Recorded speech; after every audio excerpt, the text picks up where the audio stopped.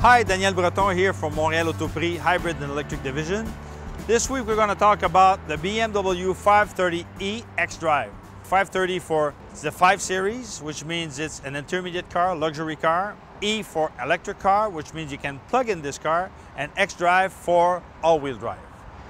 Because of new stricter emissions rule and fuel consumption rules all over the world, now car manufacturers have to offer you smaller engines better fuel efficiency. So, in this 530e, what you get is a four-cylinder, two-liter engine with twin turbo and an electric motor, which is going to give you a combined power of 248 horsepower plus 310 pound-feet of torque.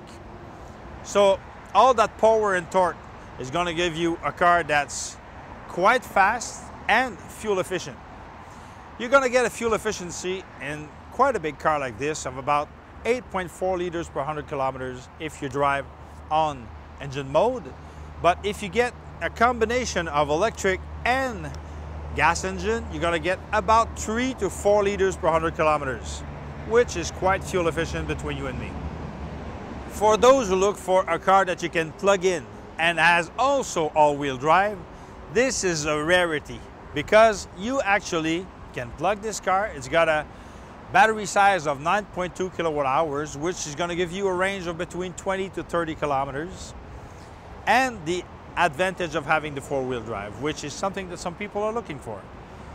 At a little less than $67,000, the BMW 530e xDrive is not a cheap car, but it is a luxury car. It's a super comfortable car.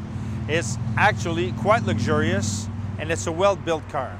So for those of you who look for a plug-in car, which has good performance, good fuel efficiency, and a good amount of luxury and comfort, this might be the car for you. This was Daniel Breton for Montréal Autoprix, Hybrid and Electric Division.